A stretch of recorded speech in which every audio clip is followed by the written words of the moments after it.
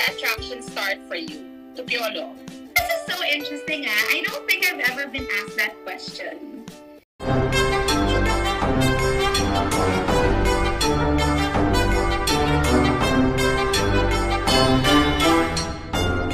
Muli ay pinakilig na naman ni Casey Concepcion ang mga tagahanga nilang dalawa ni Piolo Pascual dahil na rin sa mga inamin niya na pangyayari noong sila pang dalawa ang magkarelasyon. Narito ang video clip, panoorin natin.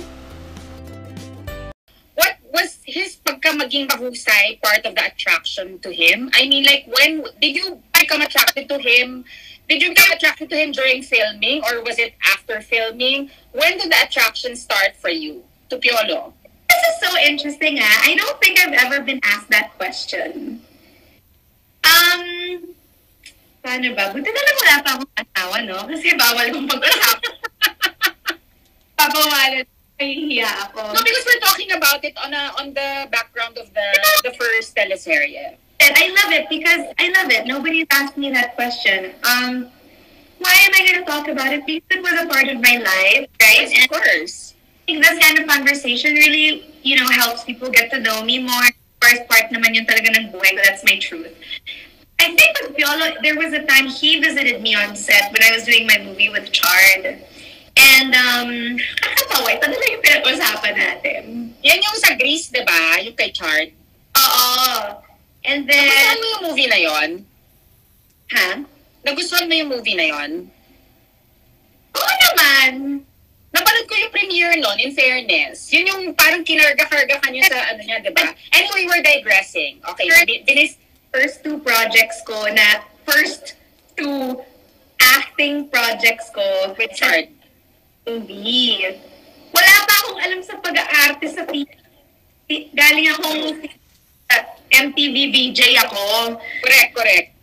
And it, ito talaga yung first Lovers in Paris was my first teleserye and then um, for the first time in Santorini with Chart was my first movie. So ito talaga throwback. Pero um, he visited me once on set with Direct Joyce Bernal. Tawag-tawa ako sa sarili ko. I mean, looking back, naalala ko pa, sabi ko, Direct Joyce, who's that guy? Sabi niya, oh, his name is Piolo, but people call him PJ. Pag close na kayo, PJ, pero hindi pa kayo close, so Piolo. okay, and then sabi ko, sabi niya, bakit? Sabi ko, parang siyang may halo. Gumanon talaga ako, like, I remember that. Sabi ko, sabi ko, parang siyang may halo, like, parang may light. So parang at is ko, tinabahan pala ako, yun pala yun. Oh. And then, there lang, like, patiently waiting lang. And he wasn't thinking pakialam kasi hindi naman niya movie yun. Oo.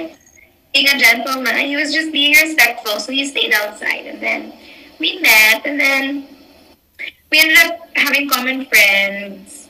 But I think we met already before that. But parang, yeah, we met already before that. I was 18, on my debut. And then I didn't speak to him for the whole time I was in college. And then when I saw him again, I was like, is that the same guy? You know, and so it was very real for me. You know, that was like my first announced relationship.